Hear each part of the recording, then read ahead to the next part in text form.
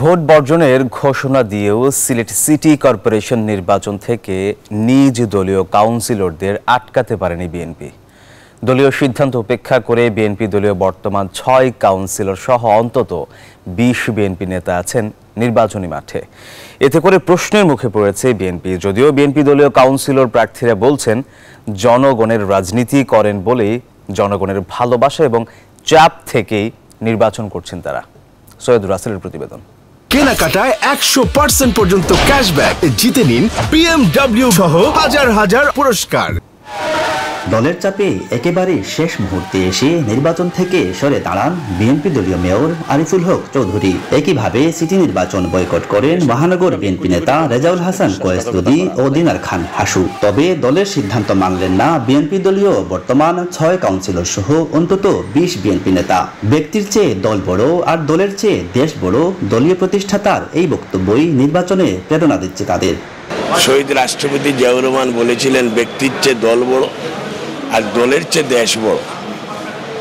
আমার নিজের অবস্থান আগামী এক তারিখ অন্তত পূর্য যদি না করি, আমি কিন্তু আমার জনগণের ইচ্ছার প্রতিফলন গঠনের জন্য এখানে এসেছি। মাথার উপর বহিষ্কারের হুমকি নিয়েও মনোনয়নপত্র জমা দেওয়া প্রসঙ্গে বিএনপি দলীয় প্রার্থীরা জানান, জনগণের রাজনীতি করেন বলে মানুষের ভালোবাসা ও চাপ থেকেই তারা নির্বাচন করছেন। এই যে এবার নির্বাচনে আমার কিছু জানেন, আমার দল এই নির্বাচনে যায় নাই। আমি আমার এলাকাবাসীর চাপে এলাকাবাসীর অনুরোধে আমি নির্বাচনে এসেছি। আমি কাজ করতে চাই জনগণের জন্য।